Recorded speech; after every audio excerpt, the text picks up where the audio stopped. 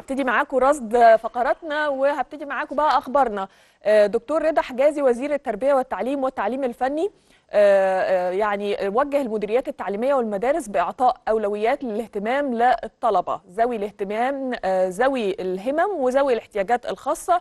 ووجه بإعداد حملات لنشر لغة الإشارة وتعليم مبادئها للبيئة المحيطة بهؤلاء الطلبة. الاهتمام بيهم ومعرفة لغتهم لتيسير التواصل معهم. شدد الوزير على عدم استخدام العقاب البدني أو الإيذاء النفسي للطلبة والعمل على حل مشكلة ضعف القراءة والكتابة.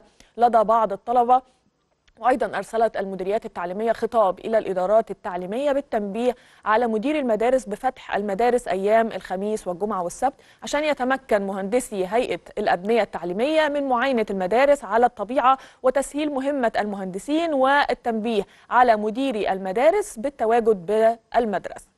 موضوع يا جماعة آه، فكرة إنه يعني آه، نحل مشكلة ضعف القراءة ومنع العقاب البدني ده من شأنه أصلا إن هو يدمجهم في المجتمع.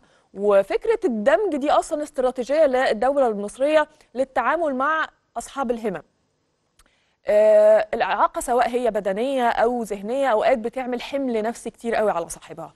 فلذلك آه، للمدرسة بيكون دور مهم جدا. وعلينا إحنا كمان على ولادنا وهم رايحين المدرسة يتعاملوا مع الطلبة دي إن هم يبقوا عارفين إن دول إخواتهم ودول مسؤوليتهم قبل أي حاجة لأن دي مسؤولية مشتركة بينا إن الناس تطلع صح آه، صحيحة نفسيا قبل أي شيء. وأعتقد إن دي جزء كبير قوي من إنسانيتنا اللي يمكن في البعض فقدها مع ال- الوقت وإن هو يتنمر وهكذا والحاجات اللي إحنا بنشوفها وبنرفضها. آه، بقلوبنا قبل عقولنا.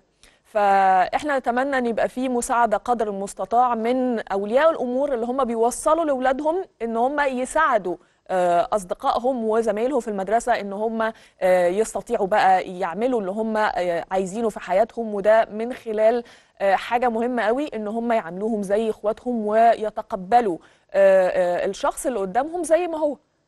بعيدا بقى عن التنمر وهكذا زي ما سردنا مع حضراتكم.